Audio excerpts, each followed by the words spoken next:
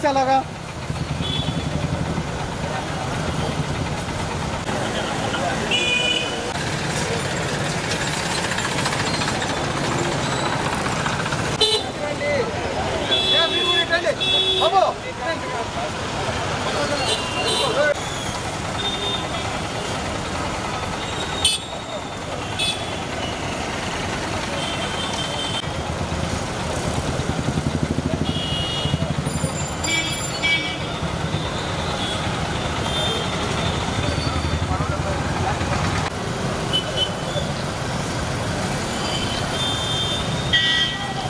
Gangaraju!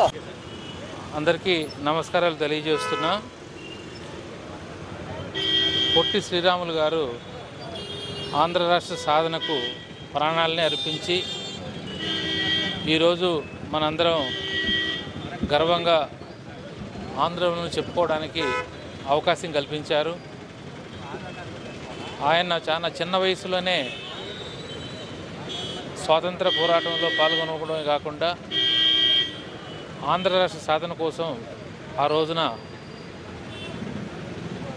Madras presidency British గవర్నమెంట్తో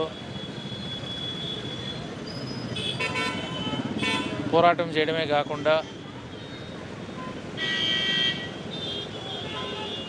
నిరాహార దీక్ష ప్రారంభించి ఆంధ్ర రాష్ట్రం ఏర్పడే వరకు ఆయన వదలలేదు. అట్లాగే ఆయన చేసినటువంటి కృషి వల్ల భారత ప్రభుత్వం కేవలం ఆంధ్రప్రదేశ్ని ఏర్పాటు చేయాలనే విషయమే కాకుండా భాషా ప్రాతిపదిక మీద రాష్ట్రాలను ఏర్పాటు చేసి రాష్ట్రాలకు ఉన్నటువంటి ఏదైతే సాంస్కృతిక మైనటువంటి అంశాలు ఉంటాయో వాటిని కాపాడుకునే అవకాశం కూడా వీలు కలుగుతుందని అది ఒక విప్లవాత్మకమైనటువంటి మార్పుకు ఆయన నాంది ప్రస్తావన అయ్యారు. అట్లాగే కేవలం అంతర్రాష్ట్ర సాధనకే కాకుండా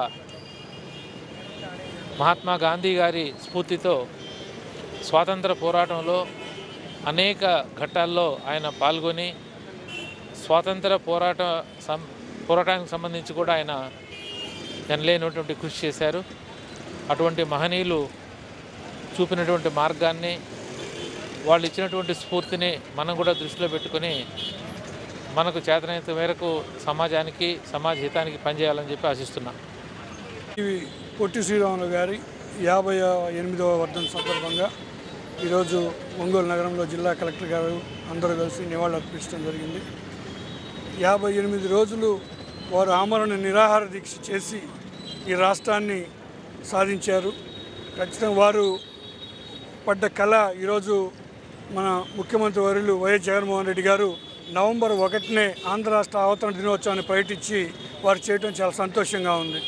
ఎందుకంటే తెలుగుదేశం ప్రభుత్వంలో చంద్రబాబు నాయుడు జూన్లో చేయటం జరిగింది. కాదు ఇది కరెక్ట్ కాదు. అమర్జీవి పొట్టి శ్రీరాములు గారి వారి ఆత్మకు శాంతి కలగాలంటే నవంబర్ ఒకటో తేదీని ఆంధ్ర రాష్ట్ర అవతరణ చేయాలని జగన్మోహన్ రెడ్డి గారు నిర్ణయం తీసుకోవడం చాలా సంతోషంగా ఉందని తెలియపరుస్తుంది పొట్టి శ్రీరాములు గారు గాంధీజీ ఆశయాలకి ఆకర్షితులై సబర్మతి ఆశ్రమంలో ఆయన జీవితంలో చాలా కాలాన్ని అక్కడ గడిపి గాంధీజీ గారి చేతనే శ్రీరాములు లాంటి వారు పది మంది ఉంటే స్వతంత్రాన్ని మనము పది సంవత్సరాల్లోనే సాధించవచ్చు అన్నట్టుగా కీర్తించబడ్డారు.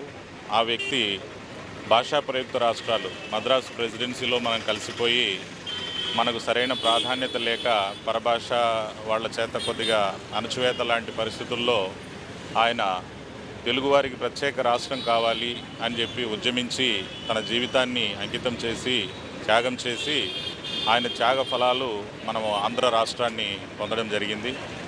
కాబట్టి ఈ రోజున ఆయన వర్ధంతి రోజున ఆయన త్యాగాల్ని స్మరించుకుంటూ ఆయనకు నివాళులు అర్పిస్తాం